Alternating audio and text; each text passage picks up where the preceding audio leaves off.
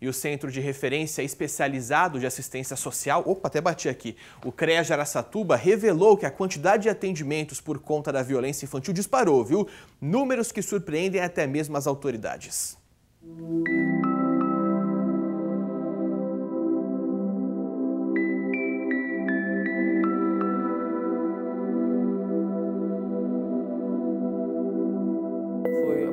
Sexual desde muito pequeno, foi na primeira infância e foram abusos assim graves, né, sexualmente falando.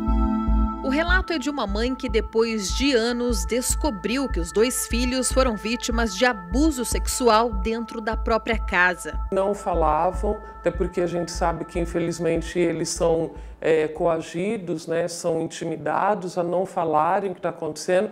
E como mãe, eu me culpei durante muito tempo por não desconfiar que isso acontecia dentro da minha própria casa. Mas eu me pergunto, como que você vai desconfiar que o pai dos seus filhos, uma pessoa acima de qualquer suspeito, bem visto na sociedade, pai dos seus filhos, seu marido, poderia fazer tal ato abominável, né? Então, ele dava banho, ele trocava, mas ele era um homem muito calmo, ele era muito tranquilo, é, não havia sintomas realmente.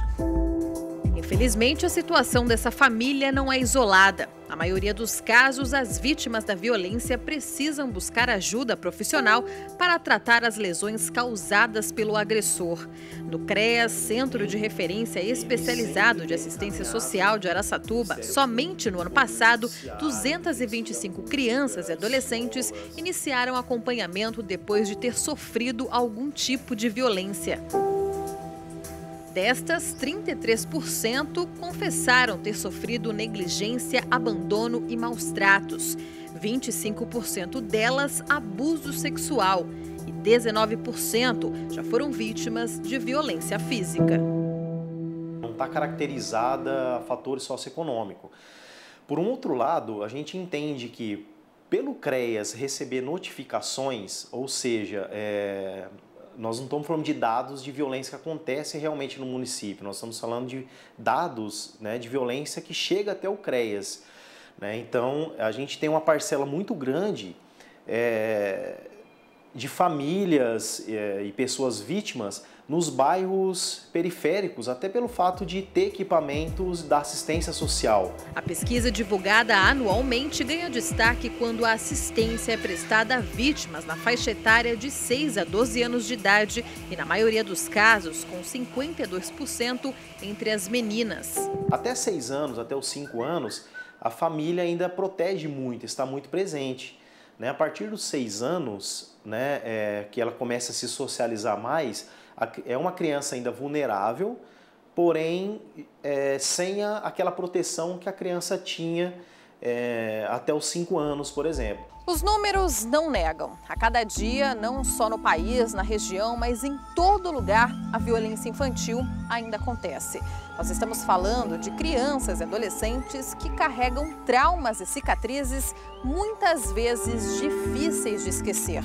São seres humanos, como nós, que precisam de apoio do município, da comunidade, para um novo recomeço. Essa menina que apanhou na infância, ou que sofreu algum tipo de abuso, não que há uma, uma correlação matemática, mas tem grande possibilidade dela, quando se tornar adulta e quando constituir a família dela, repetir um padrão que ela recebeu da família dela.